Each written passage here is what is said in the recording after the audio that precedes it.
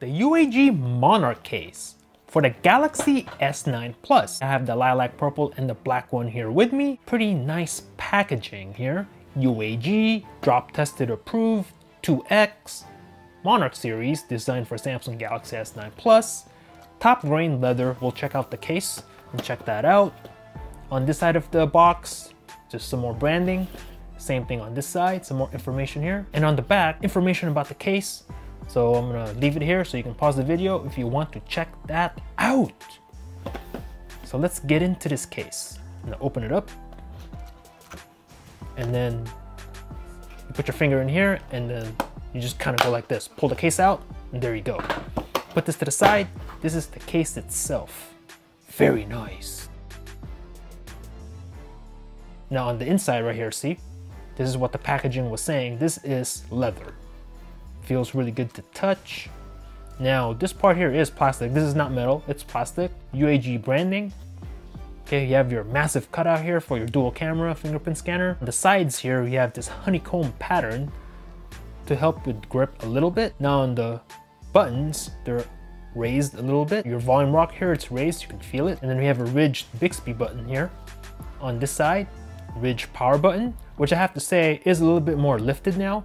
On my previous case, UAG for my Note 8, the power button here is really flat with the case, so you can barely feel it. Now it's ridged, but there's barely a raise here, right? Improved upon that a little bit, you can definitely feel the raise here.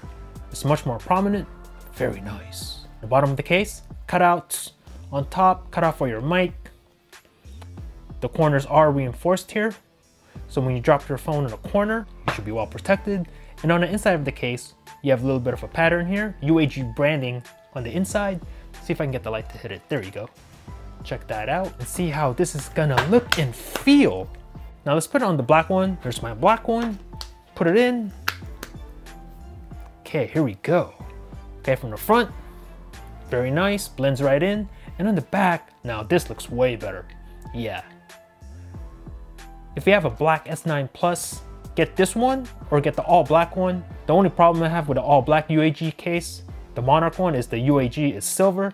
If that one was black lettering or, you know, like a gunmetal coloring, that would have looked bad AF, but that's not the case. That's why I went with the red one.